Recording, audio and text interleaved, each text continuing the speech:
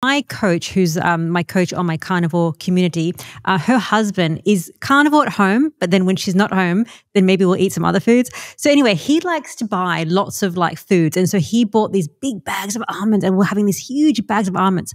Fast forward, he's getting these kidney stones, passing painful, painful in the hospital because he's having so many almonds. Who would have thought kidney stones? You know, one of the biggest sources of kidney stones are potatoes. Really? Yeah, French fries and potato chips because they're very popular and you can get into a lifestyle with them starting at age 10 and be eating some form of potato product like that every day and get yourself into big trouble. A lot of my men who are kidney stone people are potato addicts. They love their potatoes.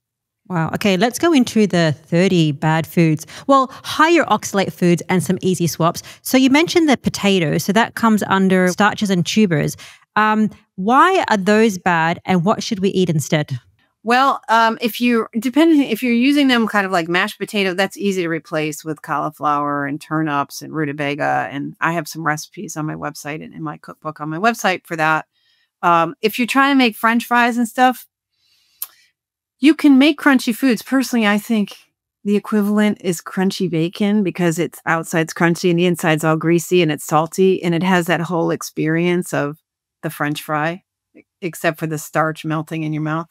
So a piece of bacon might satisfy that. And there are other kind of chippy kind of things you can do. Um, depends on what you're looking for. If you're looking for crunch, salt, fat, starch, it depends on what you're trying to do with it. But from, let's say you're putting together a Thanksgiving meal or something that's kind of classic and you want that mashed vegetable, there's plenty of white vegetables and pale yellow vegetables that make a beautiful mash if you know how to not have them be as watery. So the difference between potatoes much starchier than those non-starchy vegetables. So you have to kind of dry them out more. So you can either do set them back in the pan and let them kind of work off their extra steam or setting them in the oven and kind of give them a slight drying process so that you have an, not so much water so they don't collapse. If you want that nice fluffy mashed potato consistency, there's just a few techniques like that using plenty of salt, lots of butter, and you can even fancy it up with a little cream cheese or cottage cheese or something um, to get that nice rich mashed potato flavor. Baked potatoes you know you can you can create other things that hold whatever it is you're putting on that baked potato that you really want it for. Uh, you can use cheeses to do that. You can use a little creativity in the kitchen and you can swap it out. Okay so that was category number one starches and tubers so sweet potatoes white potatoes yucca or cassava i don't think many people have that well everyone knows somebody who's either celiac or gluten-free for some other reason and they're they're using things like almond flour, cassava flour. They're using things like quinoa, buckwheat. All these non gluten foods are quite high in oxalate.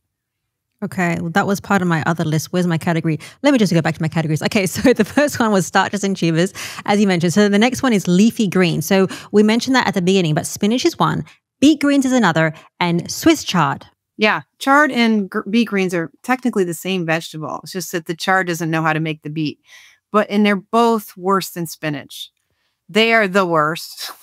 really? Yeah, they're a little bit worse than spinach. And uh, sorrel is up there, and rhubarb is up there in this category. And that's it. I mean, that's it for leafy greens. It's really just sorrel, which no one eats, chard beet greens, which is kind of the same thing, and spinach. That's all the other leafy greens are fine. What to eat instead? What to eat instead? So you and all the lettuces, uh, um, watercress, arugula, the little mini Asian greens, all of them are real low. Uh, romaine lettuce, practically nothing. Okay, so I've got here arugula, romaine, mustard greens, collard greens, bok choy, kale. Okay, next category is nuts and seeds. So we mentioned the almonds. What are other nuts on the list that we shouldn't have? Cashews, peanuts, and then the others get kind of a little less worse, but things like most of the nuts, too like small amounts of walnuts are okay. Small amounts of macadamia nuts are okay. As long as your gut can handle the seediness of them. I really think seeds are designed to be indigestible.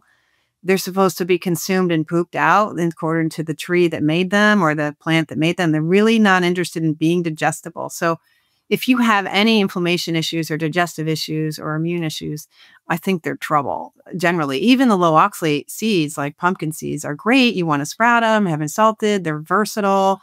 You can turn them into a butter and replace peanut butter with a with a pumpkin seed butter. But if you're having health problems, you want to be cautious about seeds and nuts because I think they're hard to digest, even sprouted, even properly prepared. Mm-hmm. So I have here as alternatives, just having butter would would be like a nice fat. Yes, like free some butter. It's good. Have you tried brown butter bites? I mm, have not, but I can imagine how they're done and that they would be great. They kind of like caramel. Yeah. so um, another solution would be, would be coconut flakes. Maybe that might be a better option. Yes, and coconut flakes can cook up into like little cookie things. You know, I, have got a recipe in my cookbook how you kind of glue them together and you can sweeten them and turn them into a cookie that others could eat that has no gluten, no eggs, no dairy. And it's really great for the sort of sensitive people who are on these elimination, whether a carnivore or not. Like there are cheat days for carnivores that the coconut might be the place to go for that. oh, don't say cheat days to carnivores because they might think, oh my God, no, we have to be strict. Occasionally you have family events or you have holidays or whatever, and you try to blend just a tiny bit. Well, you know, if you want to cheat on carnivore, do keto. That's always a better option than standard American diet. A lot of these keto foods are high oxalate. So if you're going to do a carnivore, or if you're going to do a keto diet, really that's how you end up carnivore because so many of the low carb plant foods are high in oxalate and have other problems. And it just can be not getting where you want to be because you're trying to optimize your health. So the goal is to get results, not just to follow some rule book. Absolutely. Um, next category is fruits. So, what are the worst high oxalate fruits to avoid? Kiwi, uh, star fruit. Thank God Westerners don't eat it, but in other countries, it's a it's a superfood like spinach, star fruit, and star fruit juice. They're the bad ones, and um, like the citrus peel that you make what do you call it? Fruitcake in like Christmas time, the fruitcake, that stuff is loaded with oxalate. The, the good thing about the fruits is the fruits tend to make crystals in this not as much soluble oxalic acid. So the fruit, if you eat it whole and don't purify it into like a juice or a smoothie, if you don't beat it up, the vacuoles and stuff can kind of sort of protect you a little bit from the crystals and you're not there's not as much oxalic acid in them to absorb. So again, with the numbers, some of the fruits that are high oxalate, you can get away with it some, but generally it's the blackberries, raspberries, kiwi. Kiwi, just stay away from it and and star fruit. Now, as Sally mentioned, some common foods like fruit and kiwis are very high in oxalates. And I'll actually link Sally's book down in the description so that you have an easy reference of the foods that are high in oxalates and some very easy swaps. But quite interestingly, it is not just high oxalate foods that can cause disease. Chemicals in our skincare, such as parabens and phthalates, have actually been linked to disease. They can actually disrupt hormones and even cause insulin resistance.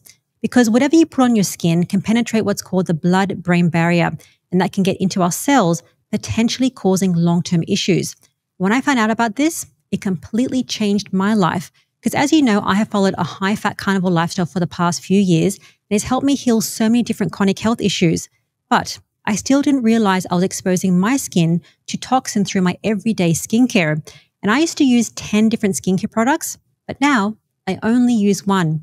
It's 100% grass fed, chemical free tallow balm. Now you might be thinking, Rina, why would you put tallow on your skin? Well, this has helped my skin so much. It's improved the hydration, my skin texture, and even the moisturization, as I generally have very sensitive acne prone skin. And that is why I created the Primal Tallow Balms as a chemical free solution for my skin, but also for your skin. The Primal Tallow Balms contain 100% grass fed, grass finished tallow that naturally contains vitamins A, D, E, and K2.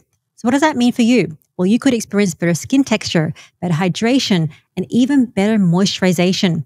And the best thing, there's no preservatives, there's no nasties. It is just pure tallow. And I love to use this unscented balm every single day. Just one dollop lasts me 24 hours. So if you want to be chemical free from the inside out, pick up a tallow balm. Just head to shop.theprimal.com and get 10% off your next order. Okay, so getting back to fruits, what to eat instead. So blueberries, I've got here pears, apricots. Maybe just like don't eat fruits that whole that often because you can get nutrient density from animal products. But let's move on to the next uh, few categories. So grains and flours. So buckwheat and quinoa you mentioned, not good. What to have instead? White rice? Is that true? Yeah, that's true. There's very few grains that are like really reliably low oxalate and they're variable. There's a lot of different species of, say, corn and wheat and so on, and different processing methods. And, and see, uh, the other thing that makes oxalate is, is mold. And if your grain hasn't been properly handled, if it was harvested when wet, left in the field, stored wrong, stored too long, there could be molds growing in them. And there's one mold, aspergillus, that will produce oxalate. So, so the amount of oxalate in wheat flour can vary because of species and because of handling. So it's hard to know like how much of this flour is okay.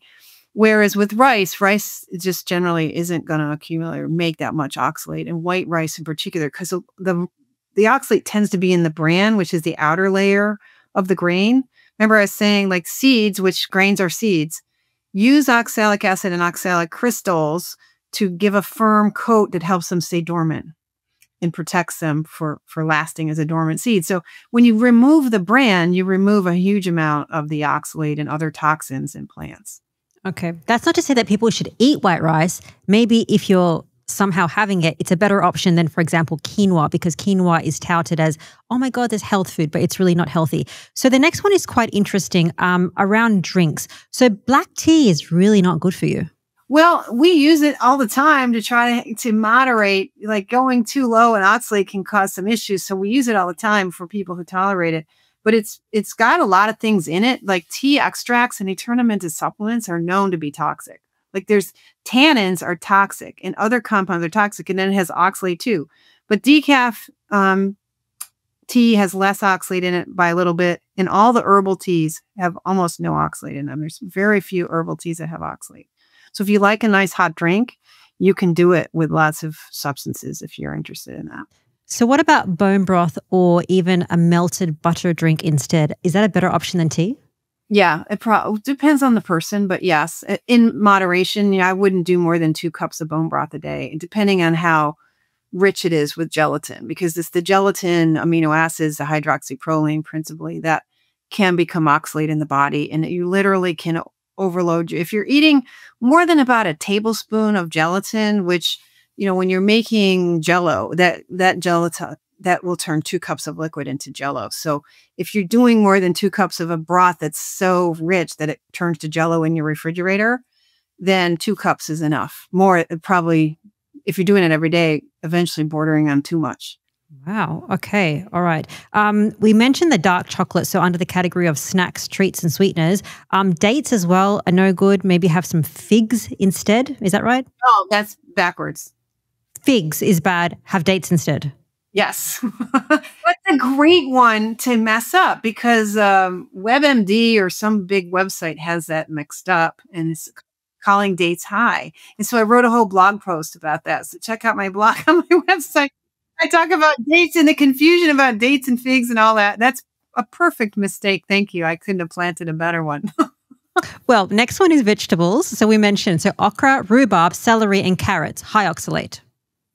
Pretty high. I mean, celery and carrots are kind of moderately high. So a little bit here and there, a little bit in the soup or the broth or whatever is not going to kill anybody. But you don't want to start living on carrot juice and celery juice. It just concentrates it. And like we said, the juicing process makes what oxalate is there more bioavailable, therefore more toxic. Okay, what to eat instead? Zucchini, cucumber, cranberries, turnip, fennel, iceberg lettuce. What do you think?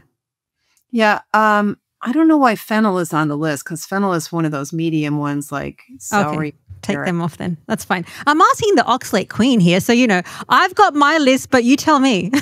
yeah, it's very, and so there's a, most of the lists online are just not right. And the lists in the textbooks, the nursing textbook, one of the nursing textbooks that I looked at in the library, the medical library, had like 36 items on the list and nine of them were wrong. These were, they said, these are the high oxalate foods and nine of them were low oxalate foods. That's in a nursing textbook. And that data came from the American Dietetics Association. This is coming from the official profession of nutrition is putting out bad data. Okay, let's get through to the last two categories. So this one for sure, legumes. Beans are not good. They are not. They, they are starvation foods for sure. Yeah. oh my god, I feel sorry for somebody that loves to eat. Like my mom loves to have lentils, but lentils is is lentils part of it? They're not high in oxalate, but they're very high in lectins. So you need to do the classic, like in India, they know to use pressure cooking and turn it into this dal that's real thin, and because they've cooked them to death, and that's what you need to do to deal with lectins.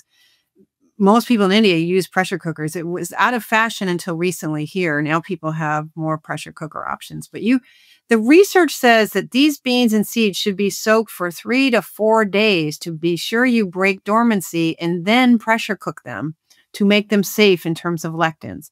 Nobody's soaking their beans for three to four days. That just isn't happening. So yeah, beans are a compromise. They're they're storable, they're lightweight. You can put them on a chuck wagon and go conquer the wild west. You can do stuff with them. They're they're practical, they're cute they're not nutritionally optimal. Nope. Okay, so I've got here soybeans that uh, we shouldn't have, navy beans, black beans, what to have instead. So you mentioned lentils are okay, but you have to cook them in a way that avoids the lectins. Black eyed peas and lima beans. Yeah, the lima beans, and then there's um, what's another one? Chickpeas aren't too bad. The peas generally, so green peas, chickpeas, and black eyed peas are much lower than the beans. And the worst beans are the white and black. The white ones is what we make like sort of Boston baked beans with, your standard summer baked beans. So we're talking in the summer and you can get yourself in bean salad and then the the baked beans and start adding in potato salad. Like summer is a time when people surprisingly are getting a lot of oxalate. And then comes the fall, we have chocolate and almonds. it's oxalate all year round. Yeah, you can switch your oxalate horse every season.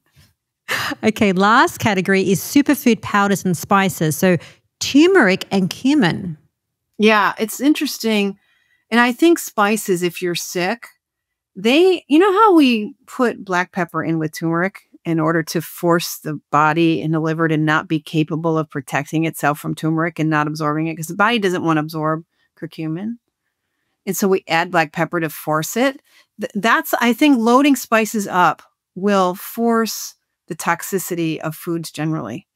And so I think there's not only there's a lot of oxalates in black pepper and cumin and turmeric and so on, uh, and a lot of spices that are in Indian food.